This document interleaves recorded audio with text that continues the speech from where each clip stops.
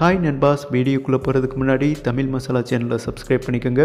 Cricket update ஸ்பீடாக ஸ்பீடாக தெரிஞ்சுக்க பெல் ஐக்கனை டச் பண்ணிக்கோங்க. வாங்க வீடியோக்குள்ளே போகலாம்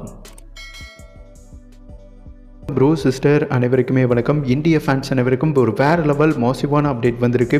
படி சத்தம் லைட்டாக கேட்கும்னு நினைக்கிறேன். அந்த லெவலில் பார்த்தீங்கன்னா ஒரு அப்டேட் வந்திருக்கு. நாளைக்கு ஸ்காட்லாந்தை வந்துட்டு மிகப்பெரிய ரன் ரேட்டில் வின் பண்ண போகிறோம் எப்படி ப்ரோ இவ்வளோ உறுதியாக சொல்கிறீங்கன்னு கேட்டிங்கன்னா ஸ்காட்லாந்து கேப்டன் இருக்கார் இல்லையா? அவர் முக்கியமான ஸ்டேட்மெண்ட் பதிவு பண்ணியிருக்காருங்க. சண்டே மதியம் நினைக்கிறேன். பாஸ்ட் சண்டே நியூசிலாண்டும் ஸ்காட்லாந்தும் மோதுறாங்க இல்லையா? ஸ்காட்லாந்து கீப்பர் வந்துட்டு அவங்க பவுலருக்கு சிக்னல் கொடுத்துருப்பாரு. இந்திய ஃபேன்ஸ் அனைவருமே நம்ம வெற்றிக்கு சாதகமாக காத்திருக்காங்க. கிரிக்கெட்டை பொறுத்தவரை நம்பர் ஒன் டீம்னா இந்தியா தான். அவங்க ஃபேன்ஸே நம்ம பக்கம் தான் இருக்காங்க. பயப்படாம பவுலிங் போடுன்னு சிக்னல் பண்ணியிருப்பாரு ஸ்காட்லாந்து கீப்பர் நம்ம இந்தியாவுக்கு சாதகமா அப்பயே அந்த டைமே ஸ்காட்லாந்து செயல்பட்டாங்க. நியூசிலாண்டோட உங்களுக்கே தெரியும். செம்ம ஃபைட் பண்ணாங்க ஸ்காட்லாந்து. நாளைக்கு மேட்ச் கொடுத்து ஸ்காட்லாந்து கேப்டன் என்ன சொல்லியிருக்காப்லேனா இந்தியா வந்துட்டு எங்களோட ஃபேவரட் டீம் எங்க நாட்டில் வந்துட்டு சின்ன சின்ன பிளேயர்கள் கிரிக்கெட்ல ஆர்வமா இருக்காங்கன்னா எம்எஸ் தோனி விராட் கோலி பும்ரா ரோஹித் சர்மா இவங்க தான் காரணம். இந்த மாதிரி ஒரு டீம் வந்துட்டு செமிஃபைனல் டெஃபினட்டாக அட்டன் பண்ணணும். அவர் கிட்டத்தட்ட சொல்லாம என்ன சொல்ல வந்திருக்காருன்னா இந்திய டீமுக்கு சாதகமாக தான் நாங்கள் ப்ளே பண்ணுவோம்னு சொல்லியிருக்காருங்க இவங்க சொன்ன விஷயம்லாம் பார்க்கும்போது நாளைக்கு நமக்கு ஃபேவராக தான் ஸ்காட்லாந்து அணி ப்ளே பண்ண போகிறாங்கன்னு நினைக்கிறேன். ரீசன் கேட்டிங்கன்னா அந்தளவுக்கு இந்திய டீமை பாராட்டி பேசியிருக்காரு ஸ்காட்லாந்து கேப்டன் இதனால தாங்க சொன்னேன் டெஃபினட்டாக வந்துட்டு இந்தியாவுக்கு இவங்க சாதகமாக ப்ளே பண்ண வாய்ப்பு இருக்கு. இன்னைக்கு மதியம் கூட ஒரு மேட்ச் நடந்தது குரூப் ஒன்ல ஆஸ்திரேலியாவும் பங்களாதேஷும் மோதினாங்க. கிட்டத்தட்ட ஆஸ்திரேலியா வெளியே போயிட்டாங்கன்னு தான் நினைச்சோம். பட் இன்னைக்கு பார்த்தீங்கன்னா பங்களாதேஷை எழுபத்தி மூணு ரன்குள்ள சுருட்டி போட்டாங்க. இவங்க பார்த்தீங்கன்னா குயிக்காக பன்னெண்டு டென் ஓவருக்குள்ளே வின் பண்ணிட்டு போயிட்டாங்க.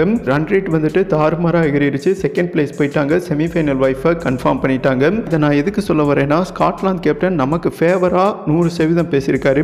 இந்த மேட்ச் மாதிரி நாளைக்கு ஸ்காட்லாந்து இந்தியாவுக்கு விட்டு கொடுக்க அதிகம் வாய்ப்பு இருக்குங்க. ஆஸ்திரேலியா பங்களாதேஷை பீட் பண்ணாங்க பார்த்தீங்களா அதே மாதிரி ஸ்காட்லாந்தை நம்ம பீட் பண்ணோம்னு வைங்களேன். ப்ளஸ் வந்துட்டு மூணு கிட்ட போயிடும் நாலு புள்ளி. டெஃபினட்டாக நூறு சதவீதம் செமிஃபைனல் போக இந்தியா வாய்ப்பு இருக்கு. வெயிட் பண்ணி பார்க்கலாம். அது நடக்குமானு சேம் டைம் இந்திய டீம் பிளேயிங் லெவனில் வந்துட்டு ஒரு மாற்றம் இருக்க போது அந்த மாற்றம் என்னன்னு குயிக்காக பார்க்கலாம். நம்ம அஸ்வின் ஜடேஜா என்ன சொல்லியிருக்காங்கன்னா யூஏ கண்டிஷன் வந்துட்டு இப்போ ஸ்பின்னுக்கு ஆப்டா இருக்கு. மூணு ஸ்பின்னரோட போகிறது பெஸ்ட்னு சொல்லியிருக்காங்க. இந்த ரீசனால் சர்துல் தாகூர் அவுட் பண்ணிட்டு ராகுல் செகார் ப்ளே பண்ண இருக்காருங்க.